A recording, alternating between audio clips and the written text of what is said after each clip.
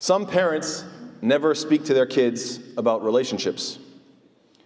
What lesson are they indirectly teaching their kids by doing so? The lesson is if ever you have questions or problems or you need advice related to romance, don't ask me because in this family, we ignore this topic. I know you didn't say it directly, but as parents, that could be the indirect message. We ignore this topic, so don't come to me. Even worse, some parents lie to their children. You know, babies come from a stork, or because parents hug each other, or whatever the case people make up. What is the lesson when parents lie to their kids and their kids later on in life find out, oh, that wasn't actually true what mom and dad said?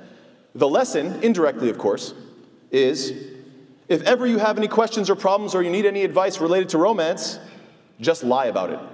Just lie about it. Why? Because in this family, we lie about these issues. I know you didn't teach the kid that directly, but you did teach them that indirectly. So, today I'd like to address certain aspects regarding relationships.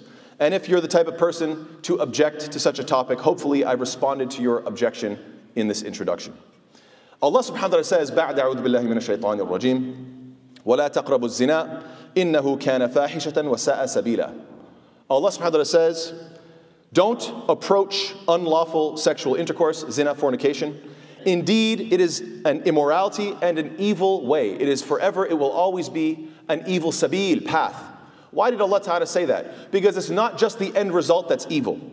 It's not just the act of fornication that's evil. Rather, it's every step that leads up to it, whether it be the glance and the flirtation and the text message and, and, and so on and so forth.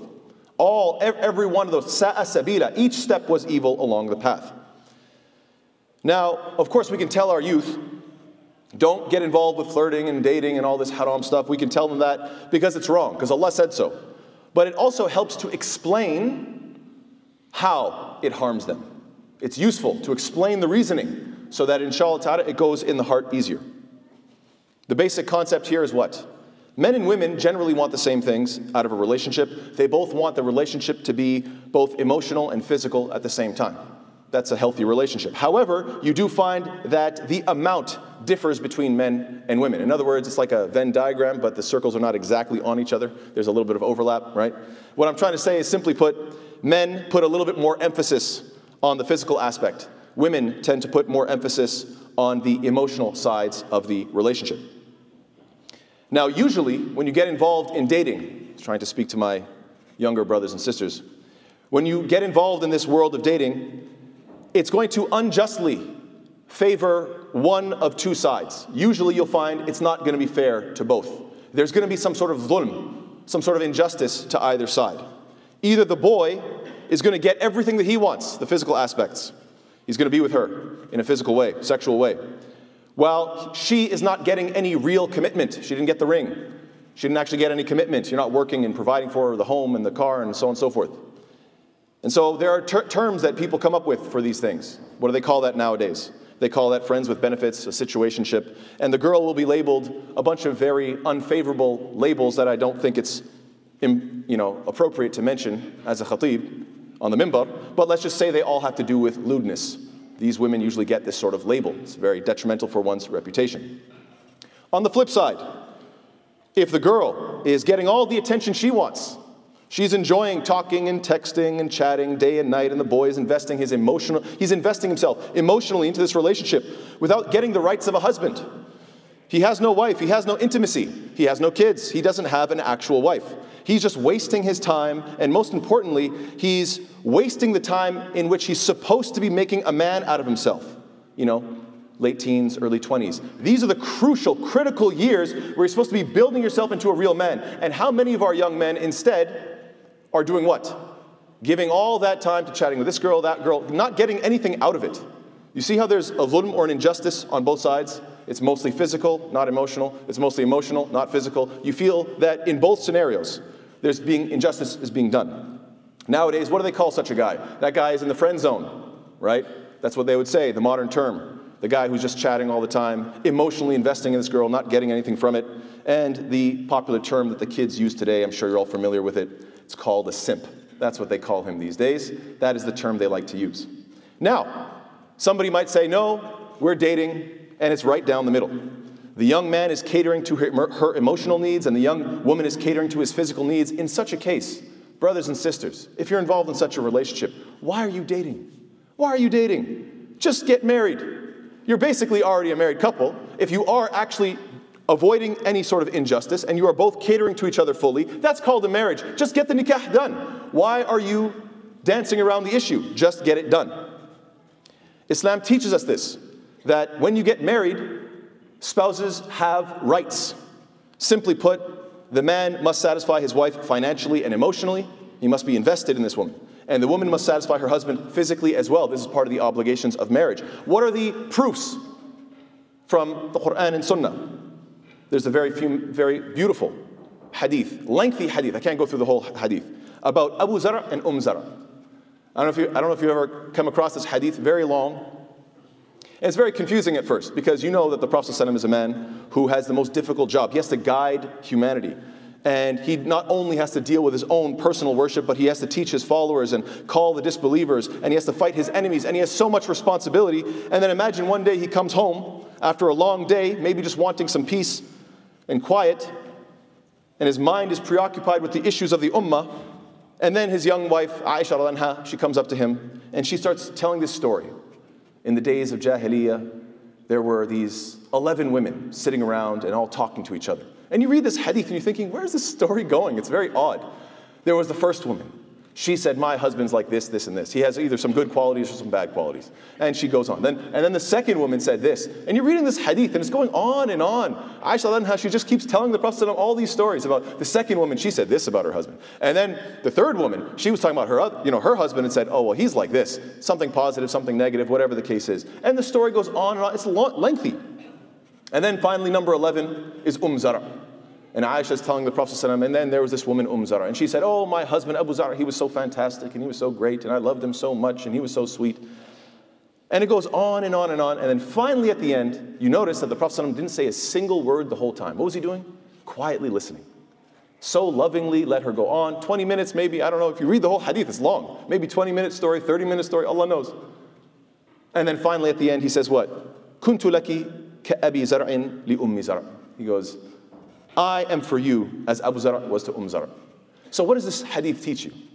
I mean, the first time I read it, I'm thinking, where's the fiqh in this? Where's the, what's, what's the lesson? I don't get what's going on here. And only later on did I come across some commentary that said, this is a beautiful hadith showing what? That even if your wife is going on and on about some story, oh, you know, this happened, that happened, and you feel like, you know, most men, most husbands, okay, okay, I'm busy, you know, okay, well, get to the point. But no, don't be short, don't be curt, don't be rude. Let her talk, be patient, listen to the whole thing, and at the end of it, say something sweet. Say something that proves that you were listening the whole time. Say something that connects it back to you two and brings you two together. It's such a beautiful hadith when you look at it from the proper lens. And of course, we know that the Prophet ﷺ also mentions what? استوصوا بالنساء خيرا فإنهن خلقن من ضلع وإن أعوج شيء في الضلع أعلاه فإن ذهبت تقيمه كسرته وإن تركته لم يزل أعوج فاستوصوا بالنساء خيرا. I advise you to take good care of your women, for they are created from the rib, and the most curved portion of the rib is the upper part. So, if you try to straighten it, you're going to break it. And if you leave it alone, it's just going to stay the way it is. It's going to stay curved. So, I urge you to take care of your women. You, all, you often find men, when they get married, they're like, man, I just say what I feel. I just speak directly. Everything's very straight. This is who, how I feel. Straight, direct. And you find that, you know, with women, it's always like, they're always trying to say things indirectly. It's like almost like curved, right? It's got this different mentality. And men struggle with this a lot. And the Prophet is saying, that's okay. She has emotionality. She deals with things in an indirect way. Sometimes it might be frustrating. If you're going to try to change a female nature, you're going to break her. It's not going to work. And if you say, oh, maybe I'll just leave it alone and be patient and she'll change eventually, don't worry about it. It won't change. It's a bone. it is the way it is. Just accept and cater to that emotionality and just be cool with it. So, yes, as a husband, you have to be ready to cater to your wife's emotionality. And what about physicality? Sisters, what do they have to cater to? The Prophet says, إذا الرجل دعا زوجته لحاجته فلتأته وإن كانت على التنور. When a man calls his wife to fulfill his needs, then let her come even if she is at the oven. This is a very interesting hadith. It really deserves a lot of appreciation. Why? Because we all know that wasting food in Islam is very much prohibited. There's no, it's not a joke. Wasting food is not a small matter. It's a very big deal. And yet, you can have this sister who's cooking and saying, You want me to leave the dinner? It might spoil the food, it might burn the food, something bad might happen. And yet, she's still being instructed, Yes, it's important to take care of the food, but guess what? It's even more important to make sure that you respond to the man physically. Why? This is part of the responsibility of marriage. This is what's going to keep the family together. That's how the man gets his satisfaction from the physical and the woman the emotional. And of course, there's overlap, but these are the what is emphasized. And I think it's also important to highlight a glaring double standard. Have you ever noticed that if you pay attention to advertisements or Netflix series or songs or every movie, they always involve, anytime they involve a woman, they must sexualize her to the utmost degree.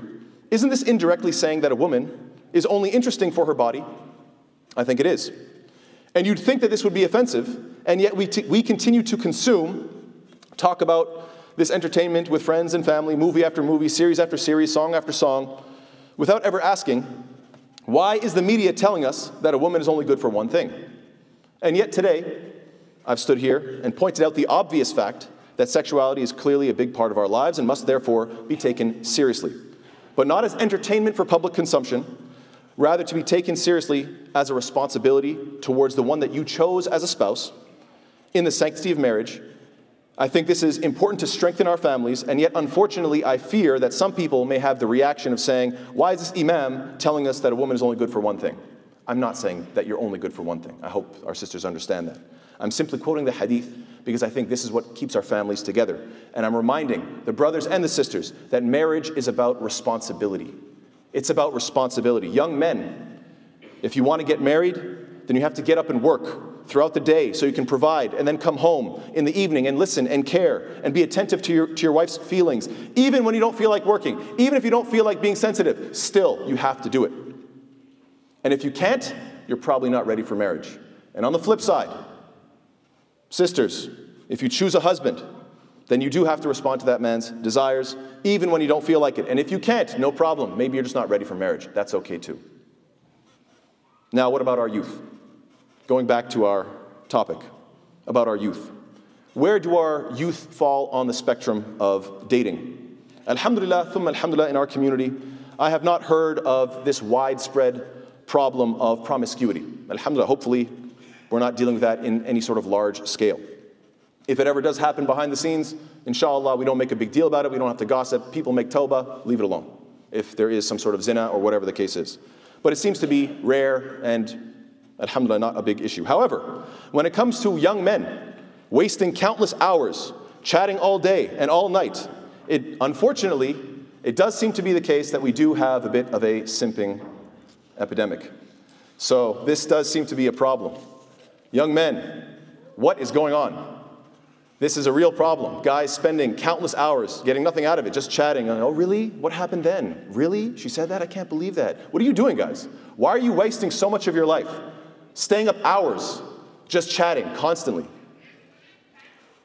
We need, as parents, to speak to our sons, speak to them very plainly, very directly, specifically the mothers.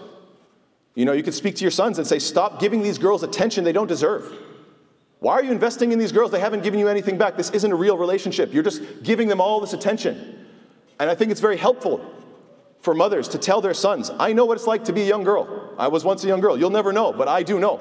I think it's great if our mothers explain that you knew what it was like being younger and being so excited to get a young boy's attention. Some girls, they just want to drain that time.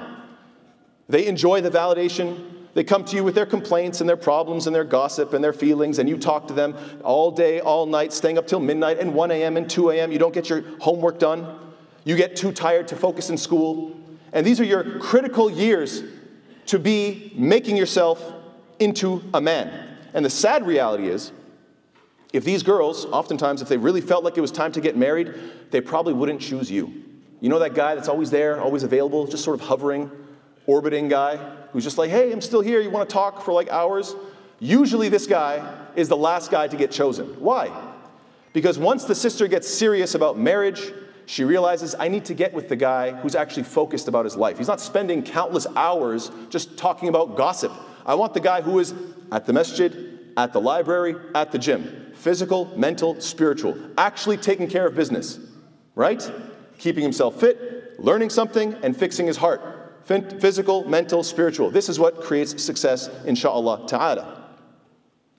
And so, yes, these young men, we need to talk to them and say, listen, you will be labeled recreational use only. You were great just for talking, chatting, chatting, chatting. You're not actually useful. And you'll be thrown to the side. And all you'll have is a broken heart and countless hours of your teens and early 20s wasted. Instead, sons, work hard. Find a girl that's going to honor you, respect you, give you a family. She'll make you feel like a king, and you, inshallah ta'ala, will make her feel like a queen. That's what's important. And if they entice you physically, sometimes, you know, the flirtation gets intense. If they try to entice you physically, then I think it's important to remind our young brothers that yes, it may be the case that the wild ones are the most exciting, but they're also the most dangerous. Lots of fun in the short term, terrible in the long term. You don't believe me? Let me explain to you a beautiful lesson from the Quran. Throughout the Quran, Allah subhanahu wa ta'ala has these stories of Musa alayhi salam and Yusuf alayhi salam in different parts Surah Yusuf, Surah Qasas, Surah Taha, etc. And subhanAllah, throughout the Quran, you find that these two stories parallel each other. It's like they're two sides of the same coin. They're always complementing each other. You know the story of Yusuf alayhi How did Bani Israel get into Egypt? That's Yusuf alayhi How did Bani Israel get out of Egypt? Musa alayhi We know this. And look at their stories, even from a young child. At the beginning of the, both stories, Yusuf salam as a child has an episode with his father. Musa salam as a child has an episode with his mother. We all know this. They're both put into water. Yusuf salam is put into a well, small amount of water. Musa salam is put into a river, large amount of water. Yusuf salam, the water is still. It's not running, it's not moving. It's still. And there are many brothers that are with him, many brothers, and yet they all desert him.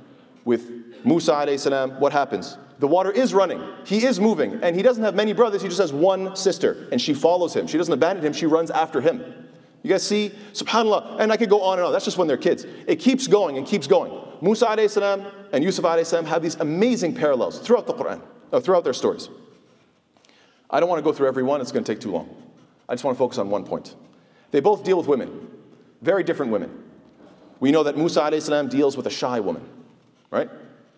Um, Imshi al istihya, she walks with shyness. And we know that Yusuf salam deals with a very lewd woman, aggressive, lots of seduction, sexually aggressive type of woman. And you find that, subhanAllah, what is the result? Musa salam deals with a shy woman who ends up getting him a job and giving him a family, giving him long term success. A good, shy woman, she what? She built him up into a real man, subhanAllah. With Yusuf salam, he lost his job and ended up in jail. And guess what? He didn't even do anything wrong. SubhanAllah, Musa alayhi is the one who killed somebody and he never goes to jail. Yusuf alayhi innocent, goes to jail. Isn't that crazy? SubhanAllah, this is Quran. And by the way, there are unfortunately many men, they get enticed by a beautiful, very exciting woman, and what happens? Same situation. Lose your money, lose your job, end up in jail. So I've seen it, I'm sure many of you have seen it as well. So a very powerful lesson from both Musa and Yusuf many parallels we should pay attention to. Inshallah ta'ala, we'll continue in the second khutbah. Wa sallallahu alayhi wa Muhammad wa ala alihi wa sallam kathira. Bismillah walhamdulillah wa salatu wa salam ala rasulillah. So not only should we have, inshallah ta'ala, our mothers speaking to our sons, but we need our fathers to speak to the daughters as well. Please explain to your daughters. Avoid men who just want you for your body, who see you as just a good time. Same thing, recreational use only. A'udhu billah. You'll end up feeling used, you'll end up feeling very cheap. Stay away from such useless men. Find a good man that's actually built himself into a man. And I know that a lot of our sisters, they ask the question, the question that's been repeated so often is what? If I marry this guy, will I have the right to work? This is always the question that gets repeated. But subhanAllah, nowadays, as I'm speaking to sisters, I'm finding the opposite is the question being asked. The question is, do I have the right not to work? This is the big question. I mean, that's the real right, right? That's the, that's the better right. I don't have to work. It's, that's, that's fantastic. SubhanAllah, you're finding that often, more and more increasingly, you're finding that the answer is no. It's very rough out there for sisters. I was speaking to a group of sisters, and they're saying that they're facing a generation of men that they're, you know, they've been raised on the feminist ideology, they believe in gender equality, and so they are the type of guys that say, hey, if I'm working a 40 hour week, you better be working a 40 hour week as well right? That's, that's the indoctrination. We're all equal. 40 hours, 40 hours, it is what it is. So, yeah, subhanAllah, I don't understand how it is the case that a lot of young men these days, they don't have that classic sense of ghira, protective jealousy. They don't mind the idea of their wife going to work and being yelled at by the boss and this boss literally bossing her around. Get up, hey, why are you late? What are you doing? Redo this report, it's no good, fix it, this and that. I mean, alhamdulillah, the classic concept of masculinity, sense of ghira, is that, hey, no one's gonna be talking to my wife that way. No, I'm gonna take care of you. This guy's not gonna be yelling at you and t- criticizing you and no, no, no, I'm not gonna allow that. You're my wife, I'm gonna work, I'll deal with these frustrating bills and stuff, I'm gonna take care of you, no one's gonna be yelling at you. This is the classic idea. But subhanAllah, nowadays sisters have a very rough situation because the vast majority of men, according to what these sisters are telling me, they don't want that. They want equality. So be cautious out there, and you have to ask the right questions. You have to ask the right questions with regards to getting a spouse. We need our fathers to prepare them, asking the right questions about family issues, money dynamics, health issues in the family. Maybe in your past there was some sort of diseases. These are questions that most people don't get into there's lots of questions that need to be taught, and our fathers need to get more involved in the process. They need to get more involved in not only highlighting the positive aspects they see in their daughter, but also being honest and saying, you have negative qualities as well. In fact, you might have negative qualities that would have disqualified you from my consideration had I been a young man. The way you talk, the way you talk back, your, focus in life, your lack of deen, all these things. If as, a, if as a father, you know, I would have never taken you as an option. I, you know, the only reason I'm with your mother is because she has so many of the opposite qualities. If that's the case, in the nicest way possible, you need to communicate this. You need to communicate this to your sons, but also to your daughters. So, I know that there are many different expressions, some that highlight, you know, that are favoring the woman. They say, happy wife, happy life. Some that favor the men that say, happy husband, we ain't fussing. And some that's just about me, whether you're male or female, happy me, happy we. Some people have these expressions. But as the believer, you want to focus on your spouse. Happy spouse, happy house. This is the attitude that we want to maintain, inshallah ta'ala. And we know that once a marriage is developed, there is a very interesting uh, theory by John uh, Gottman he has the five to one magic ratio. I don't think you have to take this as fact, but I still think it's very important to realize. Certain, a very important idea that is, is communicated. This is somebody who studied marriage for many years and studied how people get divorced and so on and so forth. He said that the magic ratio is if, as long as you have five positive interactions against one negative, inshallah, your relationship should be okay. The moment it starts getting less than that, only four positive to one, three to one, two to one, or half and half, the moment the, the positive and negative interactions between a husband and a wife starts to go down, underneath the 5 to 1 ratio, you can expect a divorce. So I think this is very, very important to keep in mind. Final few points, inshallah ta'ala. If you're struggling to get married, I know many young people are struggling and they're worried about this. I want to remind you of a hadith of the Prophet. ﷺ. He says something very beautiful.